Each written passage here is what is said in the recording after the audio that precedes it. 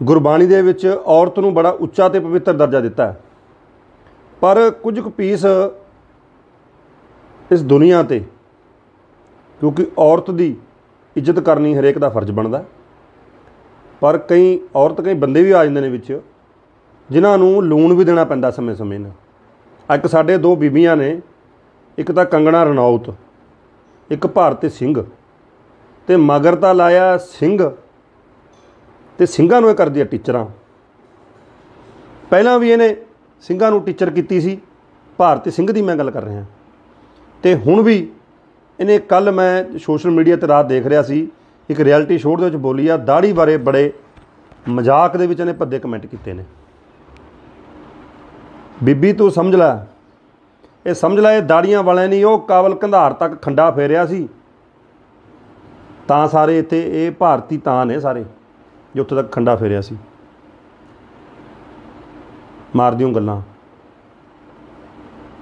ਤੈਨੂੰ ਇਹ ਆਪਣੇ ਸ਼ਬਦ ਵਾਪਸ ਲੈਣੇ ਚਾਹੀਦੇ ਨੇ, ਮਾਫੀ ਮੰਗਣੀ ਚਾਹੀਦੀ ਆ। ਨਹੀਂ, ਫਿਰ ਉਹਨੂੰ ਕੰਗਣਾ ਰਣੌਤ ਨੂੰ ਪੁੱਛ ਕੇ ਦੇਖ ਲਈ। ਫਿਰ ਘੇਰ ਲਈ ਸੀ ਨਾ ਸਿੰਘਾਂ ਨੇ ਗੱਡੀ। ਉਹ ਵੀ ਬੜੇ ਕਮੈਂਟ ਕਰਦੀ ਸੀ। ਉਹ ਵੀ ਹੁਣ ਮੈਂ ਸੁਣ ਰਿਹਾ ਸੀ ਕੱਲ ਬੋਲ ਰਹੀ ਸੀ। ਕਹਿੰਦੀ, ਮੈਨੂੰ ਪੰਜਾਬ ਤੋਂ ਕੋਈ ਲੱਗ ਨਹੀਂ ਕਰ ਸਕਦਾ। ਉਦੋਂ ਨਹੀਂ ਦਿਖਦਾ ਸੀ ਜਦੋਂ ਸਾਡੀ ਮਾਤਾ ਨੂੰ ਜਿਹੜੀ ਖੁੰਡੀ ਫੜ ਕੇ ਜਾਂਦੀ ਸੀ, ਉਹਨੂੰ ਤੂੰ ਕਹਿੰਦੀ ਸੀ 5-500 ਰੁਪਏ ਲੈ ਕੇ ਇਹ ਦਿਹਾੜੀਆਂ ਤੇ ਆਉਂਦੀਆਂ ਨੇ, ਫਿਰ ਤੈਨੂੰ ਕਿੱਡਾ ਲੋਨ ਦਿੱਤਾ ਸੀ ਸਾਰੇ ਪੰਜਾਬੀਆਂ ਨੇ। ਤੇ ਜਿਹੜੇ ਬਿੱਲਾਂ ਦੀ ਉਹ ਸਪੋਰਟ ਕਰਦੀ ਸੀ, ਉਹੀ ਕੇਂਦਰ ਦੀ ਸਰਕਾਰ ਨੇ ਵਾਪਸ ਲਏ। ਹੁਣ ਕਹਿੰਦੀ ਹੈ, ਮੈਂ ਪੰਜਾਬੀ ਫਿਲਮ ਬਣਾਉਂਗੀ।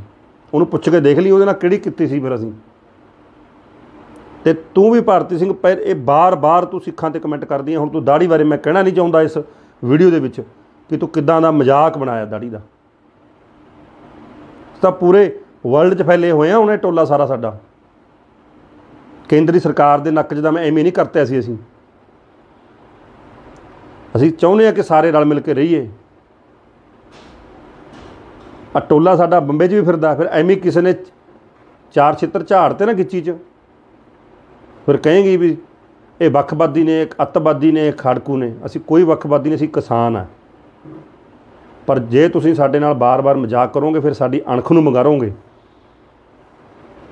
ਫਿਰ ਐਨੇ ਅਸੀਂ ਚੁੱਪ ਰਹਿਣਾ ਵੀ ਸਾਨੂੰ ਸਿਖਾਇਆ ਨਹੀਂ। ਹਰੀ ਮਹਾਰਾਜਾ ਰਣਜੀਤ ਸਿੰਘ ਦੀ ਅਗਵਾਈ ਦੇ ਵਿੱਚ ਹਰੀ ਸਿੰਘ ਨਲੂਆ ਤੇ ਬਾਅਦ ਬੰਗੇਲ ਸਿੰਘ। ਇਤਿਹਾਸ ਪੜ੍ਹੋ ਸਾਡਾ, ਬੰਦਾ ਸਿੰਘ ਬਹਾਦਰ, ਅਸਰੰਦ ਫਤਿਹ ਦੀ ਚੱਲ ਰਿਹਾ ਹੁਣ। ਕਿਵੇਂ ਖੰਡਾ ਫੇਰਿਆ ਉਹਨਾਂ ਨੇ? ਤਾਂ ਕਿਵੇਂ ਖੰਡਾ ਫੇਰਿਆ ਉਹਨਾਂ ਨੇ? ਤਾਂ ਕਿਤੇ ਜਾ ਕੇ ਅੱਜ ਸਾਰੇ ਤੁਸੀਂ ਕਹਿੰਦੇ ਹੋ ਕਿ ਹਮ ਇੰਡੀਅਨ ਹੈ। ਆਪਾਂ ਸਾਰੇ ਇਸ ਦੇਸ਼ ਦੇ ਵਿੱਚ ਖੁਸ਼ੀ-ਖੁਸ਼ੀ ਰਹੀਏ, ਤੁਸੀਂ ਮਜ਼ਾਕ ਨਾ ਬਣਾਓ। ਭਾਰਤੀ ਸਿੰਘ ਨੂੰ ਮਾਫੀ ਮੰਗਣੀ ਚਾਹੀਦੀ ਹੈ ਤੇ ਸਿੰਘ ਮਗਰੋਂ ਹਟਾ ਦੇਵੇ ਉਹ। ਕਿਉਂਕਿ ਬਾਰ-ਬਾਰ ਤੁਸੀਂ ਜਿਹੜਾ ਸਾਨੂੰ ਕਮੈਂਟ ਕਰਕੇ ਸਾਨੂੰ ਕਰੇਜ ਦਿਓ, ਤੇ ਉਹ ਬੀਬੀ ਦੂਜੀ ਕੰਗਣਾ ਲਾਓ ਤੋਂ ਲੈ ਲਈ, ਉਹ ਤੋਂ ਸੇਧ ਦੱਸ ਦੂਗੀ ਹੁਣ ਬੜਾ ਮਿੱਠਾ ਮਿੱਠਾ ਜਿਹਾ ਬੋਲਦੀ ਸੀ ਕੱਲ ਆਈ ਸੀ ਚੰਡੀਗੜ੍ਹ। ਕਿਸੇ ਨੇ ਪੰਜਾਬ ਦੇ ਵਿੱਚ ਤੇਰੀ ਫਿਲਮ ਫਿਲਮ ਚੱਲਣ ਦੇਣੀ।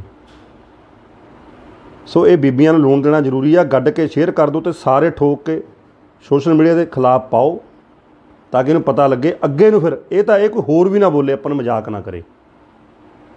ਇਸ ਲਈ ਠੋਕ ਕੇ ਬੋਲਿਆ ਕਰੋ ਸ਼ੇਅਰ ਕਰਿਆ ਕਰੋ, ਇਹਨਾਂ ਤੱਕ ਪਹੁੰਚਾ ਦਿਆ ਕਰੋ ਗੱਲ।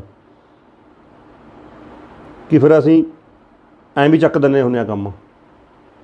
ਜਿਹੜਾ ਸਾਨੂੰ ਹੱਥ ਪਾਉਂਦਾ ਫਿਰ ਉਹ ਹੱਥ ਬੰਨ ਕੇ ਹੀ ਛੁੱਟਦਾ ਫਿਰ।